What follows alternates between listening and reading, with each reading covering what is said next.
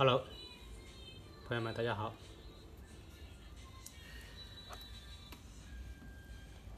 这是整流二极管。我们知道，这个二极管它的电路图符号实际上就是一个箭头的形式。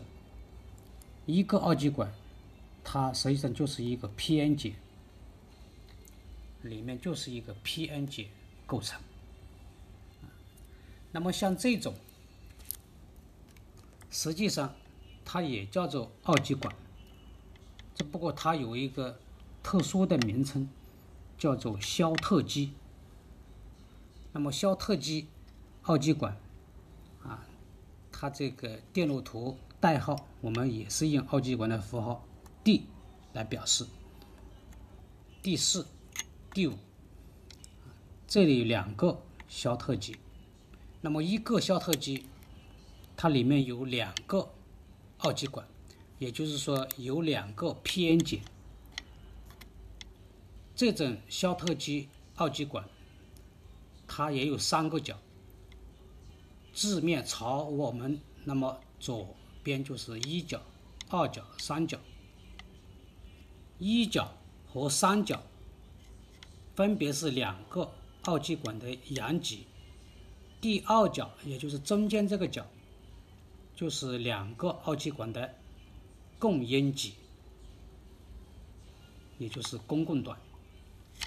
那么在这个开关电源电路当中，这两个肖特基二极管，它是采取并联的关系。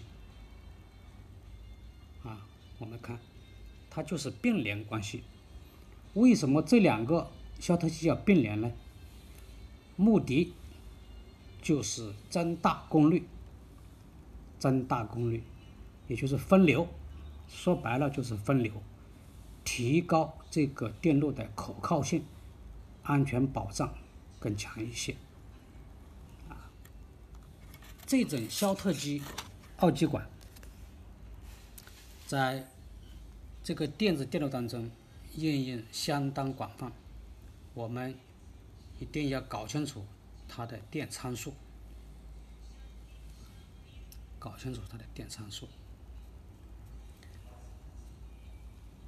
好，我们来看这个肖特基二极管的这个性能指标，只有吃透了它的电参数，我们就可以灵活运用。这就是肖特基整个二极管。我们这个开关电源这一款上面它是这个五 SR 五 A 零系列啊，就是这个系列。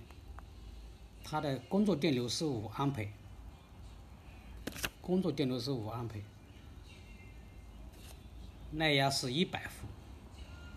也就是目前我们市场上做的最高的这一款，一百伏的这个电压值。好，这个视频我们就分享到这里。喜欢的点赞、收藏、转发，双击六六六。